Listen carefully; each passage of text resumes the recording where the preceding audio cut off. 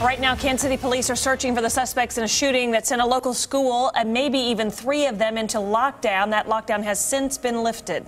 Our Garrett Hake is live outside of the apartment building where the shooting took place with the latest. Garrett.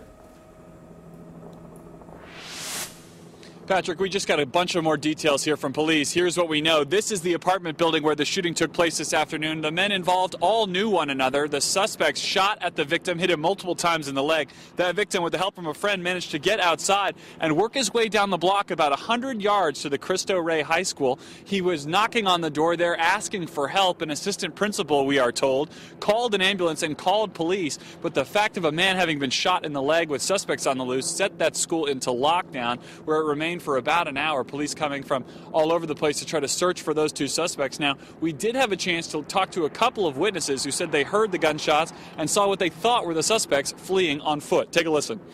We heard about three or four gunshots going off, and um, we saw a couple of guys running down the street on Linwood heading east, so we didn't know for sure. And until we got home, he was looking on the internet and noticed that there was obviously a shooting. It was definitely a gunshot, and there was definitely three or four of them, and they just started running.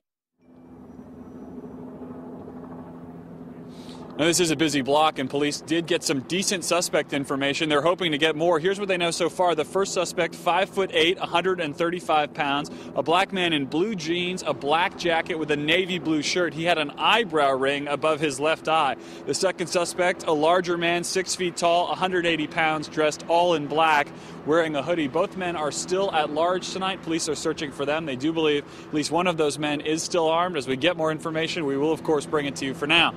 Reporting live, Garrett Hake, 41 Action News.